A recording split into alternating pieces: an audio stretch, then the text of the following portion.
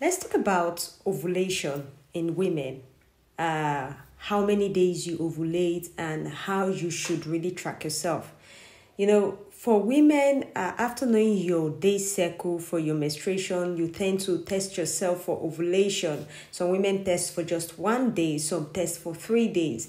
I always advise women to test for five days because you know your ovulation it's uh it's different for every every woman. For every woman, it's just different.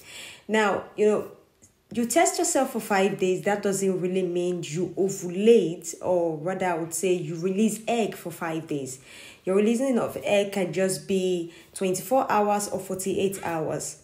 Few women release egg for 48 hours, and why most women release egg for 24 hours. And that is why it's important for you to test yourself. You know, if you don't test yourself, you don't know exactly the time you're releasing your egg.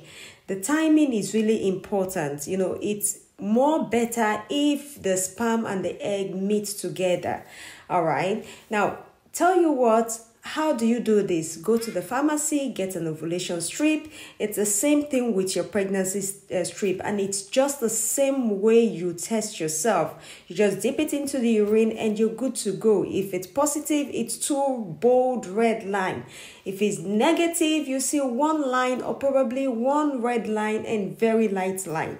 All right. So if you've not tested yourself at all for ovulation, I would advise you to do so because if you use your cervical to check it out, you might not know if you're releasing egg or not.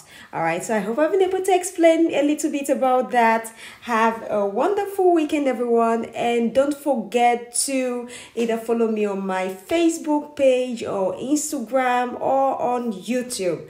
Have a wonderful weekend and bye for now.